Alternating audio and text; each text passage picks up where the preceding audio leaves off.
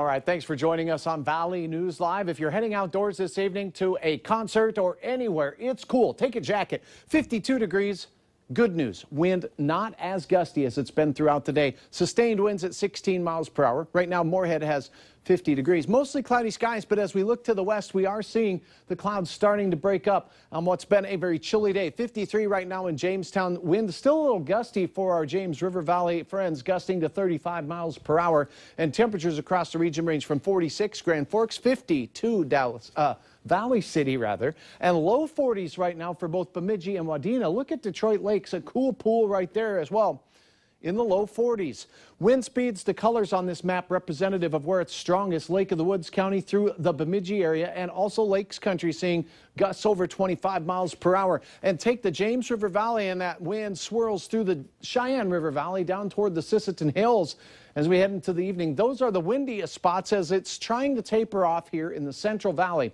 Here's the storm system swirling its way in that counterclockwise motion over the Great Lakes. Behind it, very gusty north winds passing through. We still have that deck of clouds most prominent over our Minnesota counties. We're painting on the isobars, and isobars help us see where the pressure change is greatest. And where that happy, happens, it's windiest. So the gustiest of the winds moving into lakes country, into wooded areas, uh, still going to be quite breezy. But we're starting to see those isobars get a little farther apart, a little more relaxed, and that's good news for our wind trend. Watch wind speeds as we set things into motion this evening. The sustained winds falling down. The gusty winds decreasing and temperatures in the 40s will remain out over lakes country and quite a bit of cloudiness overnight as well. As we'll see morning temperatures right around that 37 to 42 degree mark region wide and a look at the wind four to five miles per hour. We can handle that at the bus stop in the morning a lot better, but crisp nonetheless. Then as we head into our midday hour, lunchtime temperatures will be in those low 50s for many, a little bit warmer in Jamestown and in Ellendale. Other than that, wind from the northwest at 5 to 7 miles per hour.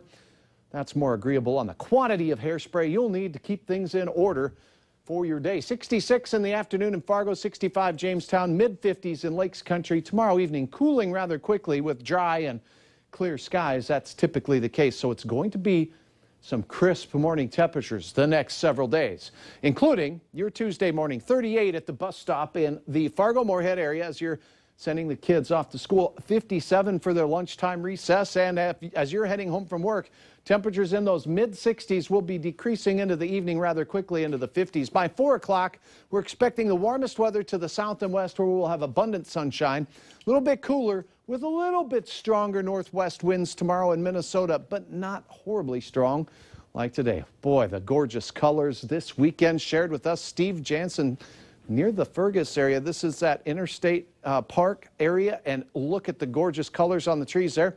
And from right here in the FM area, Juan Garza capturing this on the Red River. I'm imagining many of these leaves, if they're not in Mike Morken's backyard, are now in South Dakota with all the wind we've had.